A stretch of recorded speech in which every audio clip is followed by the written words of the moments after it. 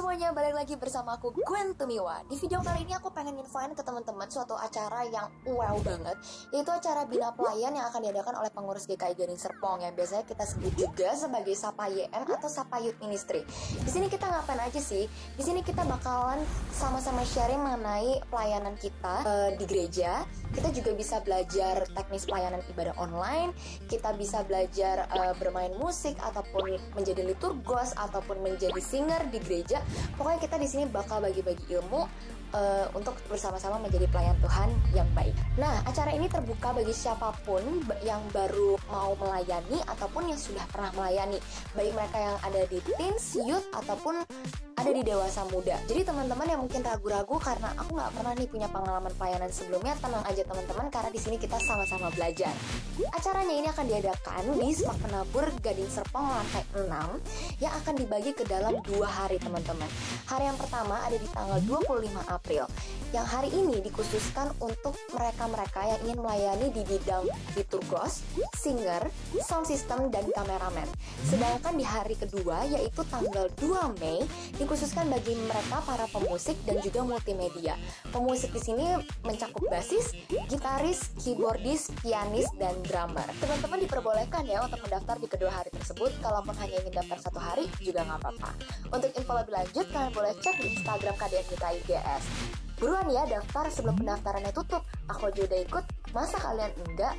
Bye, see you there!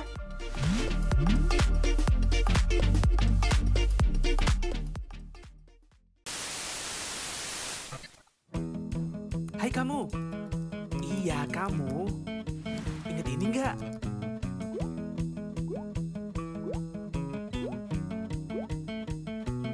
Kalau yang ini, ada sesuatu yang menarik nih buat kamu. Penasaran? Coming soon.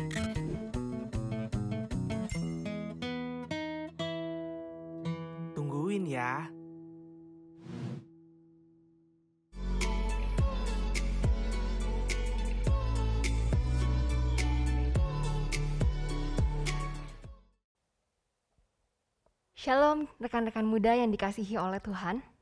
Sungguh bersyukur kalau pada hari ini kita masih diberikan kesempatan untuk bisa datang beribadah kepada Tuhan. Matt Maher pernah mengatakan, If you're still breathe, praise. Dari kalimat ini, kita sama-sama bisa diingatkan bahwa akan ada selalu hal yang bisa kita syukuri setiap harinya apalah arti hidup kita tanpa kehadiran Tuhan. Kalimat Lord I need you merupakan sebuah lirik lagu juga yang ditulis oleh Matt Maher. Matt Maher menuliskan lagu ini bukan sekedar untuk mengajak kita datang kepada Tuhan ketika kita sedang dalam kesulitan. Tetapi juga di saat kita kita di saat kita senang-senang.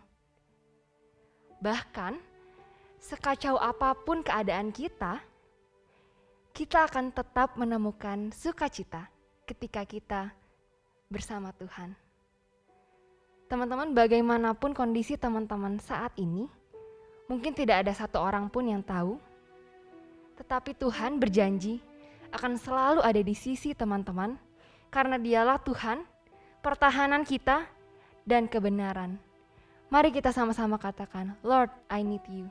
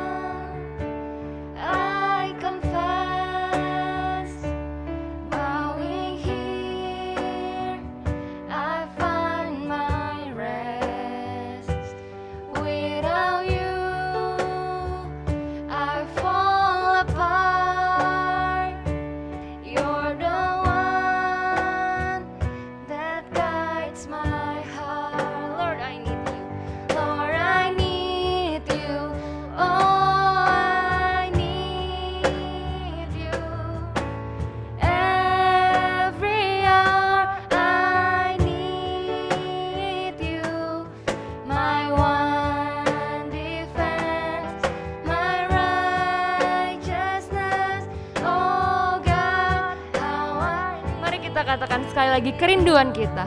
Lord, I need you.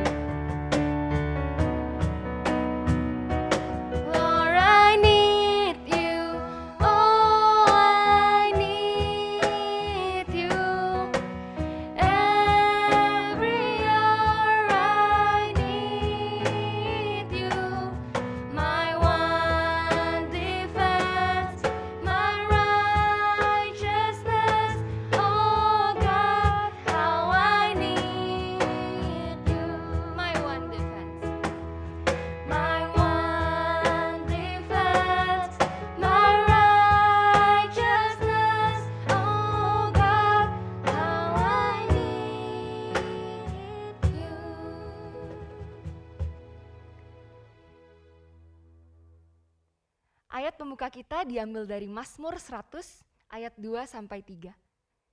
Yang berbunyi demikian. Beribadalah kepada Tuhan dengan sukacita, datanglah ke hadapannya dengan sorak-sorai.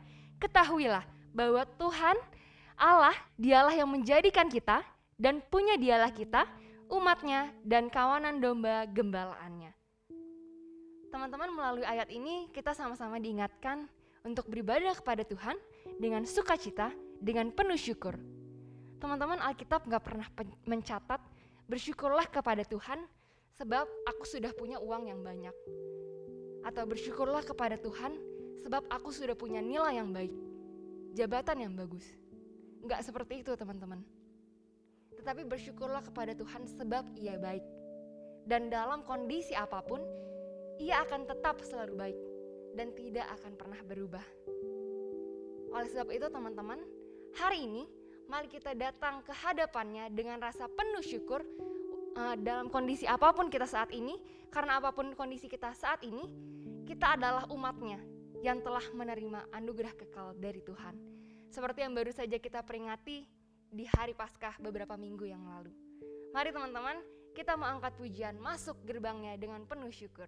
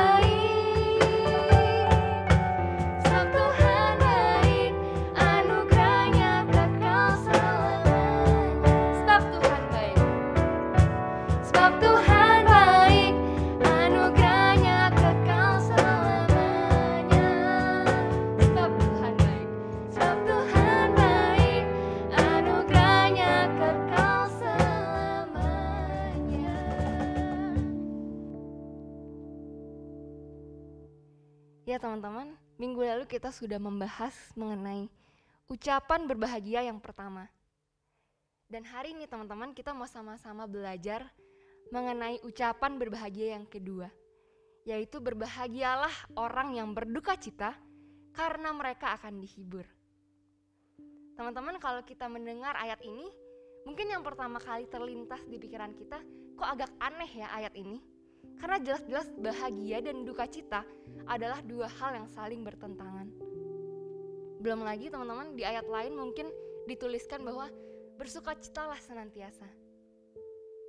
Tapi teman-teman, duka cita yang dimaksud dalam ungkapan ini bukan sekedar duka cita karena kehilangan hal yang kita sayangi atau tidak mendapatkan hal yang kita inginkan. Tuhan gak minta kita untuk menangis terus-menerus setiap hari meratapi permasalahan hidup kita. Tetapi duka cita yang dimaksud dalam ungkapan ini adalah duka cita atas dosa-dosa yang telah kita lakukan. Teman-teman, aku mau sama-sama kita merenungkan, pernah nggak sih kita merasa nyesel atas hal yang udah kita lakukan sebelumnya? Misalnya, menyesal karena nggak sungguh-sungguh belajar pas ujian, menyesal karena putus hubungan dengan seseorang, atau menyesal salah pilih jurusan, atau hal-hal yang lainnya.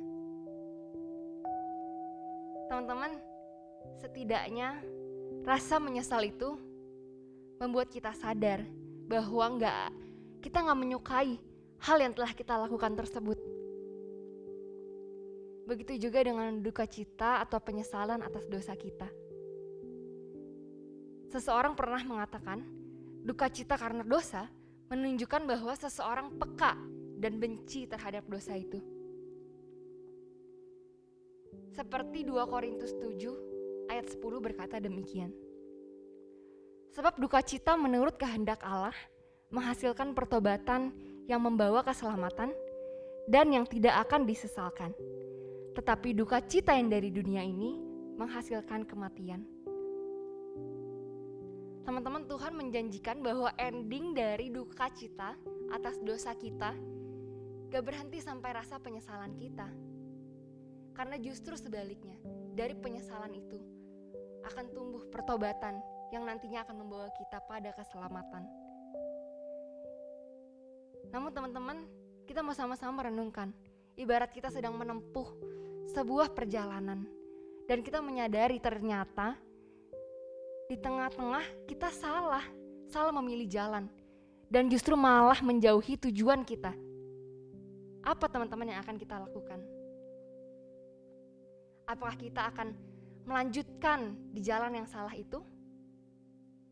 Kita akan terus menjauh dari tujuan awal kita, melangkah semakin jauh, atau justru kita akan berhenti sejenak, merenungkan kesalahan kita, memutar badan kita ke arah yang benar, dan melanjutkan langkah kita untuk mencapai tujuan tersebut.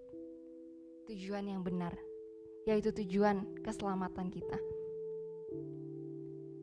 Teman-teman, kalau orang pintar ditanya seperti ini, seharusnya pasti menjawab, dia nggak akan berlama-lama pada jalan yang salah.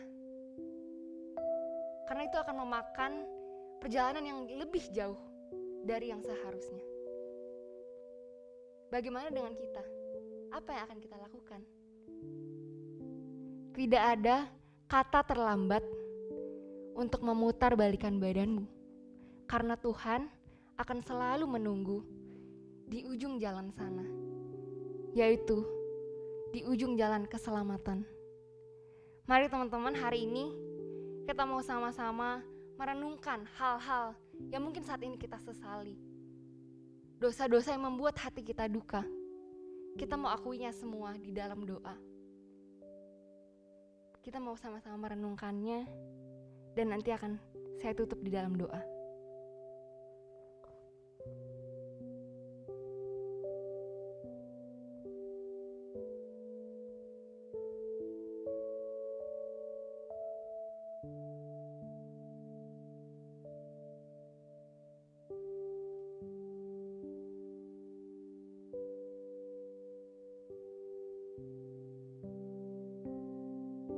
Ya Tuhan, inilah kami yang datang dengan penyesalan kami. Inilah dosa-dosa yang telah kami lakukan, yang membuat hati kita duka, bahkan hati Tuhan duka. Atau mungkin inilah kami yang belum merasakan duka itu, duka atas dosa yang telah kita lakukan. Biarlah Engkau, ya Tuhan, yang boleh memberikan duka itu di dalam hati kami, Engkau yang boleh lihat hati kami, hingga kami menumbuhkan rasa penyesalan atas dosa yang kita lakukan tersebut. Ampuni kami ya Bapa kalau sering kali kami manusia yang penuh dengan kesalahan, penuh dengan kekurangan. Ampuni kami jika kami sering kali mendukakan hatimu. Ajarilah kami ya Bapa untuk berduka atas dosa-dosa yang telah kita lakukan. Terima kasih ya Tuhan atas pengampunan yang selalu Engkau berikan kepada kami. Hanya di dalam namamu kami serahkan doa ini. Amin. Teman-teman, berita anugerah kita diambil dari Daniel 9 ayat 9 sampai 10a yang berkata demikian. Pada Tuhan Allah kami ada kesayangan dan keampunan, walaupun kami telah memberontak terhadap Dia dan tidak mendengarkan suara Tuhan Allah kami. Demikianlah berita anugerah dari Tuhan. Teman-teman, ibarat sebuah kayu yang mungkin awalnya nggak ada bentuknya. Mungkin awalnya kita memiliki bentuk yang kurang indah. Dan kita harus melewati proses yang menyakitkan dan tidak mudah. Tapi percayalah teman-teman, bahwa semua itu adalah proses proses di mana Tuhan sedang membentuk kita kembali menjadi suatu karya yang indah. Akan ada ending yang bahagia bersama Tuhan, baik itu dari yang sakit menjadi ajaib, dari yang celah menjadi mulia, atau dari yang gelap menjadi terang. Mari teman-teman, sambil menyiapkan hati kita untuk mendengarkan firman Tuhan, kita mau angkat lagu dari kungkungan malam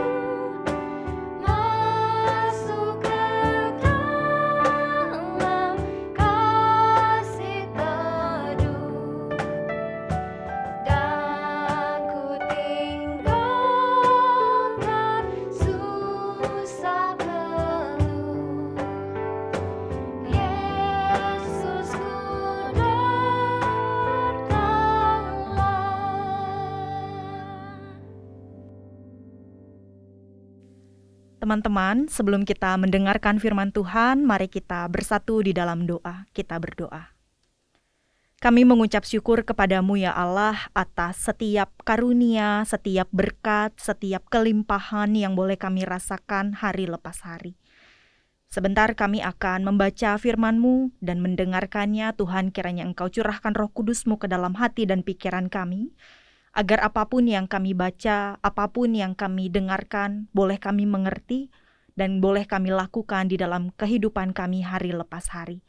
Di dalam nama Yesus Kristus, kami mengucap syukur dan berdoa. Amin. Teman-teman, pembacaan Alkitab kita pada hari ini diambil dari Matius pasal 5 ayat 4. Demikian. Berbahagialah orang yang berduka cita karena mereka akan dihibur. Demikianlah pembacaan firman kita. Berbahagialah bagi kita yang mendengarkan dan melakukan firman Tuhan hari lepas hari.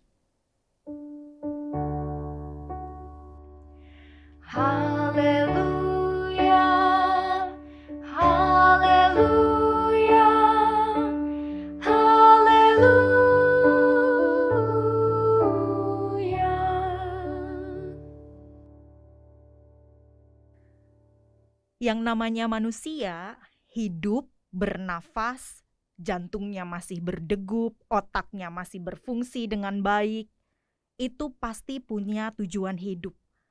Mau ke mana nih? Mau kayak gimana nih?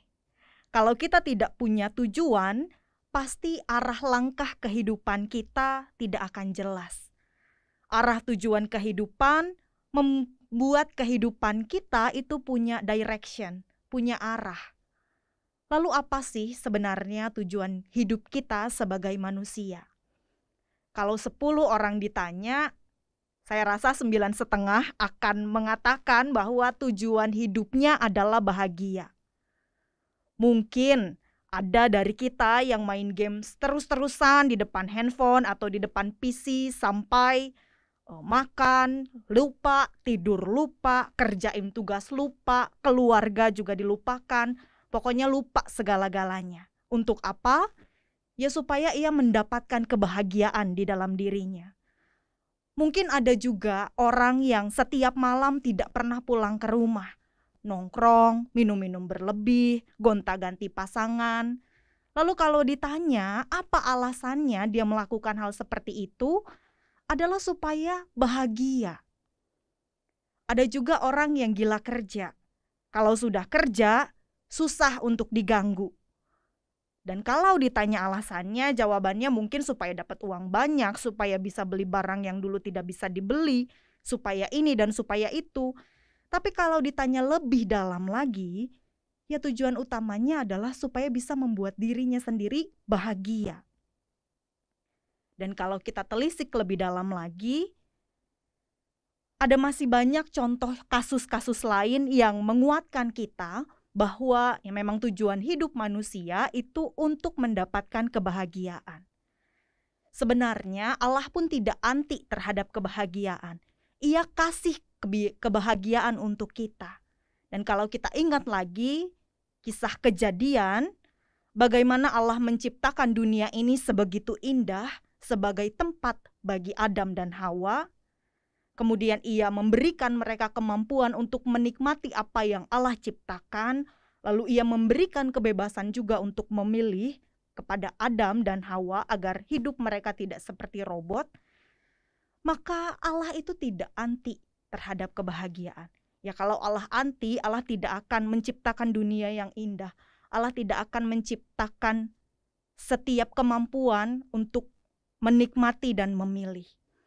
Allah tidak anti terhadap kebahagiaan.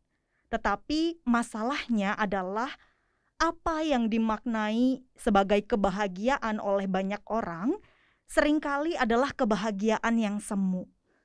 Kalau kita main games, cari hidup lewat nongkrong-nongkrong, minum-minum berlebih, gonta-ganti pasangan, kerja berlebih, apakah kita betul-betul bahagia?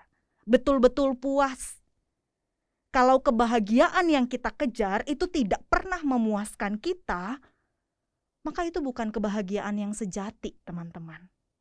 Itu cuma kesenangan sesaat. Oleh karena itu, apa itu kebahagiaan yang sejati? Minggu lalu kita sudah bersama-sama melihat dan mendengar bagaimana Tuhan Yesus mengatakan bahwa orang yang berbahagia itu adalah orang yang miskin karena ia yang empunya kerajaan Allah. Lalu pada hari ini kita bersama-sama melihat bagaimana ucapan bahagia yang Yesus katakan. Yaitu berbahagialah mereka yang berduka cita karena mereka akan dihibur. Ini pernyataan yang sangat tidak biasa, tidak umum. Kenapa kita harus berduka cita kalau tujuan hidup kita ya bahagia? Bagaimana kalau kita bisa berbahagia kalau kita ini berduka cita? Tapi kalau kita lihat lebih jauh dan lebih dalam lagi, apa sih duka cita yang dimaksud oleh Yesus? Mungkin manusia pada umumnya berpikir bahwa duka cita adalah perasaan yang muncul, yang timbul kalau kita itu kehilangan sesuatu. Diputusin pacar, ditolak gebetan, gagal menikah, diselingkuhin, atau orang-orang yang kita kasihi pergi untuk selama-lamanya. Tapi ternyata duka cita yang dimaksud oleh Yesus ini bukan cit, bukan duka cita yang seperti itu. Duka cita yang dimaksud oleh Yesus adalah ketika kita sadar, ketika kita mengakui dosa-dosa yang telah dan sedang kita lakukan juga kita berduka karena melihat dosa-dosa yang dilakukan oleh orang lain. Duka cita yang kita rasakan itu lahir karena hati kita hancur akibat dosa yang kita lakukan, sekecil apa pun itu. Pengakuan kita juga lahir kalau hati kita siap untuk dibarui oleh Allah. Pernah nggak sih kita merasa bersalah kalau kita berbuat dosa? Kalau kita pernah, saya yakin itu adalah suara Tuhan yang mengingatkan kepada kita. Lalu bagaimana respons kita ketika Tuhan mengingatkan kita? Apakah itu sekadar angin lalu? Apakah kita semakin menjauhkan diri dari Allah? Oh saya tahu nih saya berdosa. Saya nggak layak di hadapan Allah lalu kita menjauhkan diri dari Allah. Merasa bahwa Allah tidak akan mengasihi kita lagi. Tidak, teman-teman. Tuhan itu selalu ada buat kita. Meskipun kita berbuat sesuatu yang menyedihkan hatinya, mengecewakan Ia, Ia akan selalu ada buat kita. Ia akan selalu mengingatkan kita. Ia akan selalu memberi sinyal kalau kita itu sudah keluar jalur. Giliran kita, kita mau nggak diingatkan oleh Allah? Kita mau nggak membuka diri untuk berubah? Berduka kalau kita melakukan dosa sekecil apa pun itu. Dosa bohong misalnya. Mau bohong sedikit, mau bohong banyak, mau bohong demi kebaikan, bohong setengah. Ya, bohong adalah bohong, itu adalah dosa. Lalu apakah karena dosa mau kecil mau besar itu adalah dosa, jadi ya udahlah sekalian aja kita lakukan dosa bohong yang sebohong-bohongnya. Nanti sekalian minta maaf aja sama Tuhan. Kalau kita punya pemikiran seperti itu hati-hati teman-teman. Ini akan buat hati kita semakin tumpul. Kita semakin menjadi kompromi terhadap dosa. Sekecil apa pun kompromi kita kepada Tuhan terhadap dosa, itu akan bikin hubungan kita dengan Tuhan semakin jauh. Kita tidak akan bisa lagi mendengar suara Tuhan. Sekali lagi firman Tuhan katakan, orang-orang yang menangisi dosanya sensitif dan sadar terhadap dosa yang mereka lakukan, sekecil apa pun itu, mereka adalah orang-orang yang berduka cita. Lalu bagaimana duka cita yang kita rasakan itu bisa membawa kebahagiaan? Mari kita lihat di dalam 1 Korintus pasal 7 ayat 9 sampai 11 dikatakan, "Namun sekarang aku bersuka cita bukan karena kamu telah berduka cita, melainkan karena duka citamu membuat kamu bertobat. Sebab duka citamu itu adalah menurut kehendak Allah, sehingga kamu sedikit pun tidak akan dirugikan oleh karena kami. Sebab duka cita menurut kehendak Allah menghasilkan pertobatan yang membawa keselamatan dan yang tidak akan disesalkan. Tetapi duka cita yang dari dunia ini menghasilkan kematian. Sebab perhatikanlah betapa justru duka cita yang menurut kehendak Allah itu mengerjakan pada kamu kesungguhan yang besar bahkan pembelaan diri, kejengkelan, ketakutan, kerinduan, kegiatan, penghukuman. Di dalam semuanya itu, kamu telah membuktikan bahwa kamu tidak bersalah di dalam perkara itu. Di sini Paulus mengatakan kepada jemaat yang kepada jemaat di Korintus bahwa ia senang karena duka cita yang jemaat di Korintus itu alami adalah karena mereka sadar dosa apa yang mereka lakukan. Dan ketika mereka sadar, kesadaran akan dosa itu yang menghasilkan pertobatan. Dan pertobatan itulah yang akan membawa mereka kepada keselamatan. Begitu juga dengan kita. Mengakui dosa dan bertobat akan membawa kita semakin dekat kepada Allah. Allah yang menyelamatkan kita. Akan tetapi, mengakui dosa dan bertobat itu tidak hanya ketika kita kebaktian minggu seperti ini. Tidak hanya ketika kita beribadah di dalam liturgi. Tetapi mengakui dosa itu harus kita terus-menerus lakukan.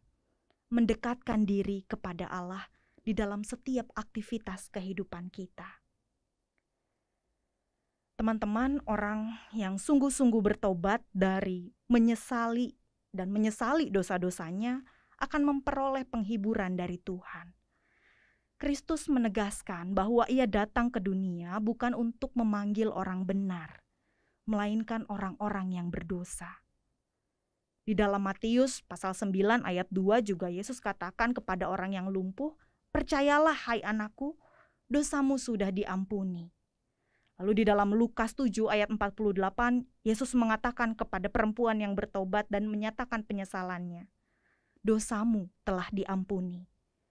Alkitab mencatat bahwa orang yang bertobat dan datang kepada Yesus serta menyatakan penyesalannya dan berniat untuk memperbaiki kehidupannya akan memperoleh pengampunan dan penghiburan dari Tuhan. Jadi, kalau ada di antara kita yang merasa sensitif dengan dosa-dosa yang kita lakukan, kita juga merasa tidak tenang ketika kita melakukan sebuah dosa, merasa tidak bahagia ketika kita melakukan dosa apa pun dan sekecil apa pun itu, kita menangisi dosa kita, kita memohon ampun kepada Tuhan dan bertobat, maka kita adalah orang yang berbahagia. Sebaliknya, jika kita suka membenarkan diri terhadap dosa-dosa yang kita lakukan, kita suka memberikan alasan-alasan untuk membenarkan apa yang kita lakukan, maka kita tidak akan pernah menjadi orang yang berbahagia. Hal lain di dalam Alkitab juga mengajarkan bahwa kita diminta untuk bukan hanya menangisi dosa-dosa kita, tetapi kita juga menangisi dosa orang lain di dalam perjanjian baru dikatakan di dalam 2 Petrus 2 ayat 27 lo terus-menerus menderita karena orang-orang yang dipenuhi hawa nafsu. Jadi Lot ini menderita karena melihat orang-orang lain yang berbuat dosa. Mazmur 119 ayat 3, 136 juga mengatakan, Air mataku berlinang seperti aliran air karena orang tidak berpegang pada Tauratmu. Jadi kalau lihat orang berdosa, maka ia akan menangis. Teman-teman, kita diminta untuk selalu menebarkan kerajaan Allah. Ketika kita melihat orang yang berdosa, mari kita ingatkan, mari kita doakan agar kita juga membawa keselamatan kepadanya, agar ia semakin kenal Kristus melalui diri kita. Kerajaan Allah itu semakin lama akan semakin berkembang, sehingga ruang dosa akan semakin sempit. Dan saat itulah kebahagiaan yang sejati akan timbul. Oleh karena itu teman-teman, mari kita berduka cita dengan menyadari setiap dosa yang kita lakukan. Kita mendekatkan diri kepada Allah dan mau bertobat dengan hidup seturut dengan kehendak Allah. Kiranya Tuhan memberkati kita semua. Amin.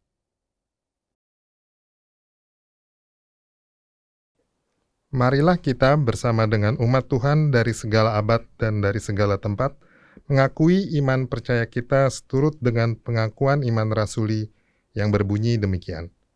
Aku percaya kepada Allah, Bapa yang Maha Kuasa, Kalik langit dan bumi, dan kepada Yesus Kristus, anaknya yang tunggal Tuhan kita, yang dikandung dari roh kudus, lahir dari anak darah Maria, yang menderita sengsara di bawah pemerintahan Pontius Pilatus, disalibkan, mati dan dikuburkan, turun ke dalam kerajaan maut.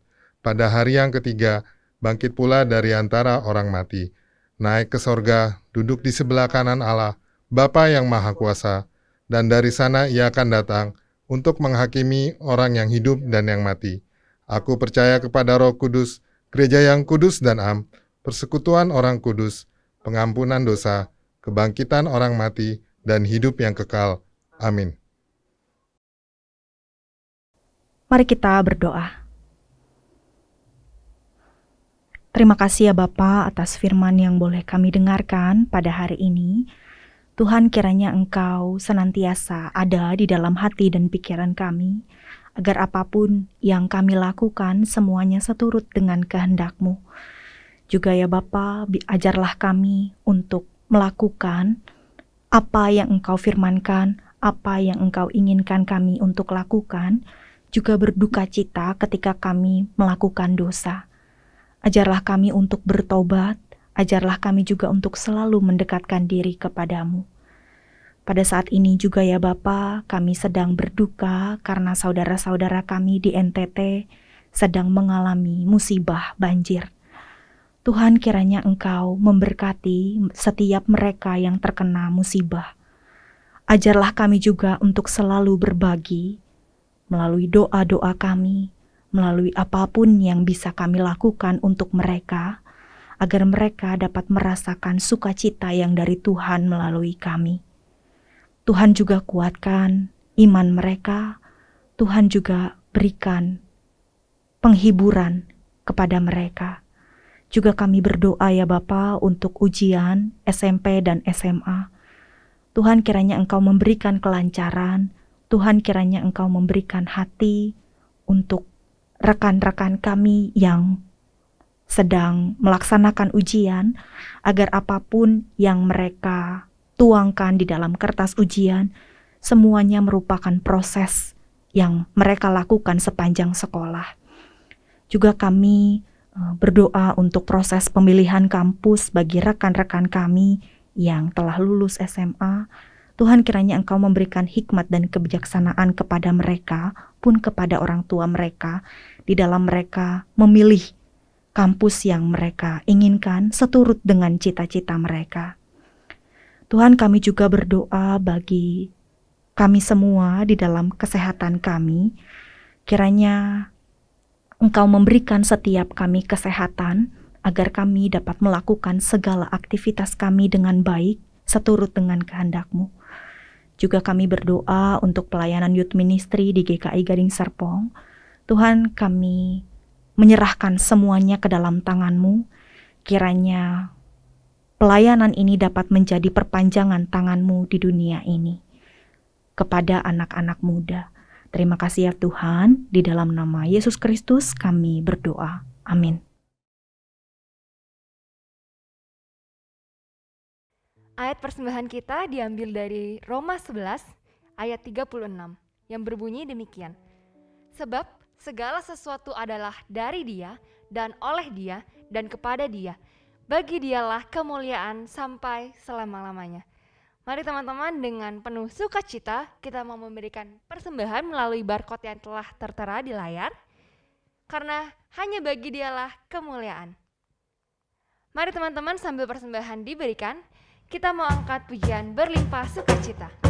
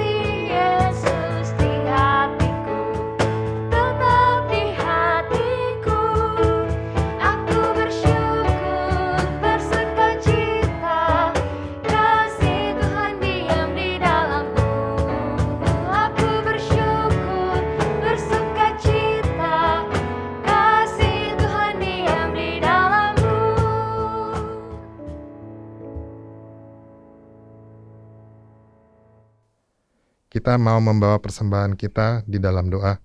Mari kita berdoa.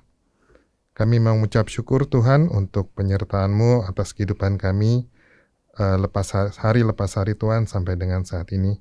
Kalau pada hari ini Tuhan, Kau boleh uh, mampukan kami, layakan kami Tuhan untuk memberikan persembahan kami sebagai tanda ucapan syukur kami. Kiranya Kau yang mau berkati Tuhan dan layakan persembahan kami, sehingga itu boleh menjadi dupa yang harum di hadapan-Mu. Berkati tangan-tangan yang akan mengelolanya Tuhan, biarlah persembahan ini boleh dipakai sebagai alat untuk memperluas kerajaan-Mu di muka bumi ini. Kami ajar kami Tuhan untuk boleh terus bersyukur uh, di dalam kami menjalani kehidupan kami Tuhan dan biarlah kami boleh terus uh, menjalani kehidupan kami Tuhan dengan penuh uh, rasa terima kasih dan ucapan syukur hanya ke dalam tangan uh, kepadamu Tuhan. Hanya di dalam nama Tuhan Yesus Kristus kami berdoa dan mengucap syukur. Amin. Ya teman-teman, mulai hari ini marilah kita berduka cita bukan karena tubuh kita penampilan kita, status kita, atau hal-hal lainnya yang belum kita dapatkan, tetapi marilah kita berduka cita karena dosa-dosa yang telah kita lakukan. Karena Tuhan berjanji, Ia akan memberikan penghiburan bagi kita yang berduka atas dosa-dosa kita. Mari teman-teman, kita akhiri ibadah ini dengan menyanyikan lagu Ku Berbahagia.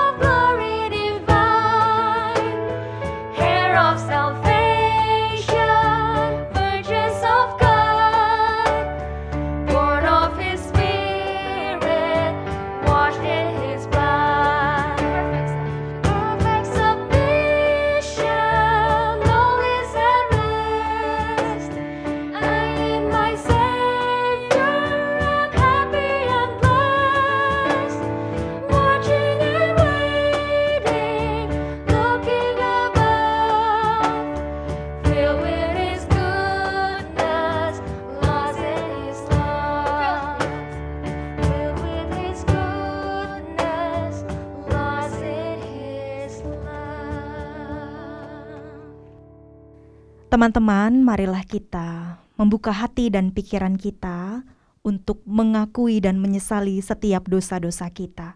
Kita berduka bukan karena kita kehilangan sesuatu, tetapi karena kita berdosa dan kita mau mengakui setiap dosa-dosa kita dan berbalik kepada Tuhan. Maka mari kita mengarahkan hati kita kepada Tuhan. Kami mengarahkan hati kami kepada Tuhan. Jadilah saksi Kristus. Syukur kepada Allah. Terpujilah Tuhan, kini dan selamanya. Mari kita menerima berkat dari Tuhan. Tuhan memberkati kita dan melindungi kita. Tuhan menyinari kita dengan wajahnya dan memberi kita kasih karunia. Tuhan menghadapkan wajahnya kepada kita dan memberi kita damai sejahtera. balik lagi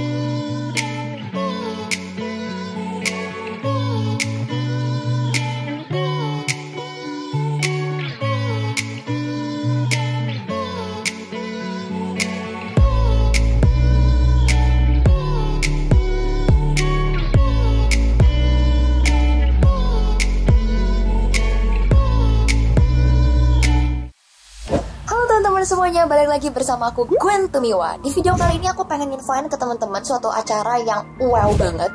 Yaitu acara Bina Pelayan yang akan diadakan oleh pengurus GKI Gading Serpong Yang biasanya kita sebut juga sebagai Sapa YM atau Sapa Youth Ministry.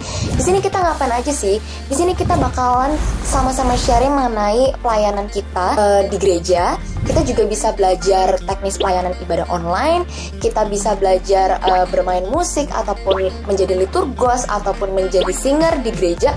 Pokoknya kita di sini bakal bagi-bagi ilmu uh, untuk bersama-sama menjadi pelayan Tuhan yang baik. Nah, acara ini terbuka bagi siapa pun yang baru mau melayani ataupun yang sudah pernah melayani, baik mereka yang ada di teens, youth ataupun ada di dewasa muda. Jadi teman-teman yang mungkin ragu-ragu karena aku nggak pernah nih punya pengalaman pelayanan sebelumnya, tenang aja teman-teman karena di sini kita sama-sama belajar. Acaranya ini akan diadakan di Sepak Penabur Gading Serpong lantai 6 yang akan dibagi ke dalam dua hari teman-teman. Hari yang pertama ada di tanggal 25 April yang hari ini dikhususkan untuk mereka-mereka yang ingin melayani di bidang liturgos, singer, sound system, dan kameramen. Sedangkan di hari kedua yaitu tanggal 2 Mei dikhususkan bagi mereka para pemusik dan juga multimedia. Pemusik di sini mencakup basis, gitaris, keyboardis, pianis, dan drummer. Teman-teman diperbolehkan ya untuk mendaftar di kedua hari tersebut. Kalaupun hanya ingin daftar satu hari juga nggak apa-apa. Untuk info lebih lanjut kalian boleh cek di Instagram KDN GS. Buruan ya daftar sebelum pendaftarannya tutup. Aku juga ikut, masa kalian enggak? Bye, see you there!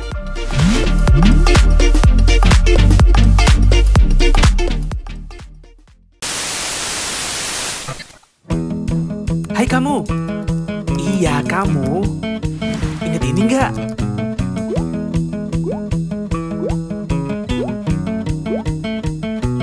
Kalau yang ini,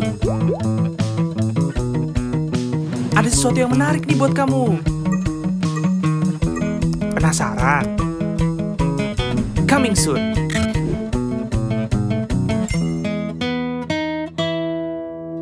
Tungguin ya.